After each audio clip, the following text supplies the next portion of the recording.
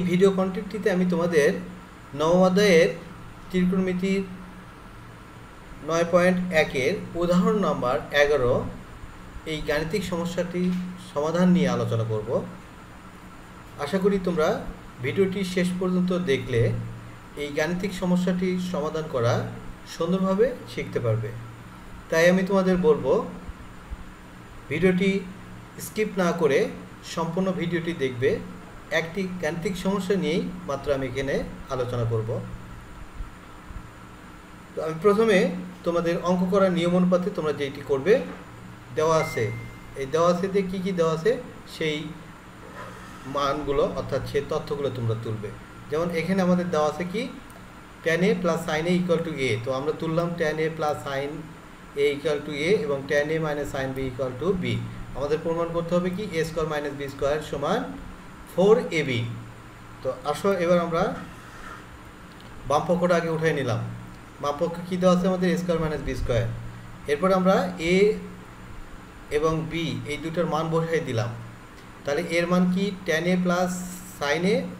তারপরে আমরা এই মাইনাস দিয়ে দিলাম। এবার বির মান কি? টেন এ মাইনাস সাইন এবার এই যে স্কোয়ার দেওয়া আছে উপরে সেই স্কোয়ারটা বসাই দিলে তোমরা। তো তাহলে দেখো, এর মান আর বি এর মান বসান হয়ে গেল। এখন আমরা একটা সূত্র দেখি এখানে। সেটা হচ্ছে কি? যে ফোর এ বি সমান আমরা জানি কি?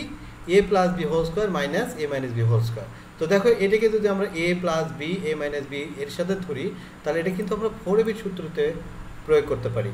তাহলে আমরা এটাকে লিখতে পারি four tan A sine A four into tan A sine A এখন, এই যে দেখো, এই ফোরের পরে আমাদের এখানে কি আছে? রুট আছে। তো আমরা এই কারণে এখানে কি করলাম? রুট দিলাম। আচ্ছা রুট যদি দিই আমি, তাহলে ট্যান এ এটাকে শুধু ট্যান এ রাখা যাবে না? তখন কি করতে হবে? ট্যান স্কোয়ার এ সাইন একে শুধু সাইন এ রাখা যাবে না সাইন স্কোয়ার এ রাখতে হবে। কারণ দেখো, যদি তুমি টু টুর উপর বর্গ দাও, তাহলে কি করতে হবে তোমাকে? হ্যাঁ বর্গমূল করো। তাহলে টুর উপরে বর্গমূল করলে এভাবে এখানে একটা বর্গ দিতে হবে। তাহলে এই বর্গ বর্গমূল কেটে গেলে কিন্তু টুই থাকবে।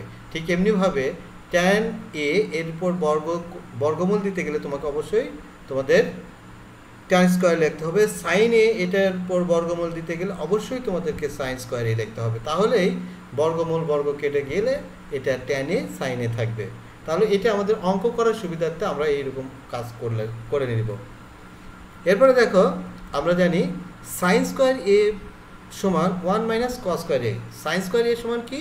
One minus cos square A just sine square plus cos square A সমান ওয়ান তাহলে আমরা সাইন স্কোয়ার এ সমান লিখতে পারি one minus cos square A. তো দেখো, আমরা এখানে এই সাইন স্কোয়ার এটাকে ভাঙাইয়া one minus cos square A লিখলাম। এরপরে এই যে ট্যানে এই ট্যানে দিয়ে আমরা উভয় ট্যানে দিয়ে আমি এটাকে গুণ করে দিলাম। তাহলে ওয়ানের সাথে ট্যান গুণ করলে tan square tan square A দিয়ে ওয়ানের সাথে গুণ করলে tan square A minus cos square এর সাথে গুণ করলে হচ্ছে cos square A into tan square A. এরপর দেখো, আমরা জানি ট্যান এর সমান সাইন বাই কজ তাহলে যদি ট্যান স্কোয়ার হয়, তাহলে কী হবে?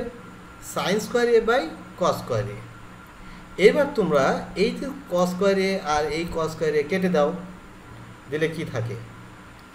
Tan square A minus sine square এরপর দেখো আমরা একটা সূত্রে, সূত্রতে ফালালাম এটাকে। সেই সূত্রটা কি? এখানে আমি ডানে আগের সূত্রটা তোমাদের দেখাই, দেখো। A square minus B square তো A square minus B square সমান কি?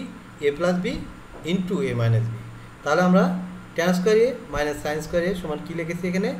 Tan A plus sine A into tan A minus sine A অর্থাৎ এই যে তোমাদের A square minus B square এই সূত্র অনুপাতে এটাকে সূত্রে ফালানো হয়েছে। এরপরে এখন কি করবে তোমরা? Tan A plus sine A এর মান বসাই দাও। কত? এ তাহলে মানটা বসাই দিলাম এ। Tan A minus sine A মান কত? বি তাহলে বসাই দাও বি তাহলে কত আসলো? Four root over A B দেখো তোমাদের ডান পাশের মানের সমান এসে গেছে। তাহলে এখন কি করবে? লিখবে সমান টান দিয়ে ডান পক্ষ। তাহলে বাম পক্ষ সমান কি পেলাম আমরা? ডান পক্ষ।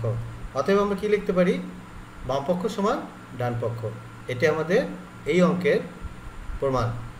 সুতরাং তোমরা একটু অঙ্ক এরকম সূত্র বুঝে বুঝে করার চেষ্টা করবে অঙ্কের নিয়ম অনুপাতে, তাহলে তোমরা ভালোভাবে অঙ্ক করতে পারবে। তো আমি আজকে এই পর্যন্তই এখানে রাখছি। পরবর্তীতে আরেকটি ভিডিও নিয়ে তোমাদের সাথে কথা হবে। সবাই ভালো থেকো, সুস্থ থাকো। আল্লাহ হাফেজ।